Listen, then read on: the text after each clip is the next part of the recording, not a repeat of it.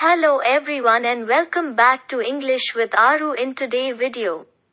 I am going to tell the story name of the story is The Golden Touch. There once was a king named Midas who did a good deed for a satyr. And he was then granted a wish by Dionysus, the god of wine.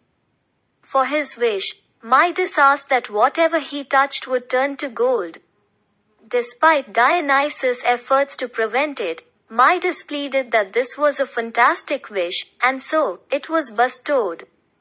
Excited about his newly earned powers, Midas started touching all kinds of things, turning each item into pure gold. But soon, Midas became hungry. As he picked up a piece of food, he found he couldn't eat it. It had turned to gold in his hand.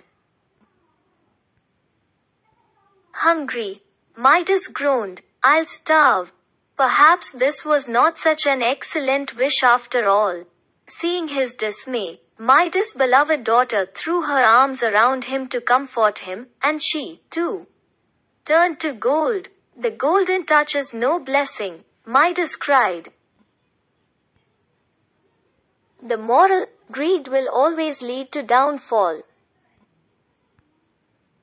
So hey the story is over if you like the story keep it thumbs up and subscribe my channel. Thank you.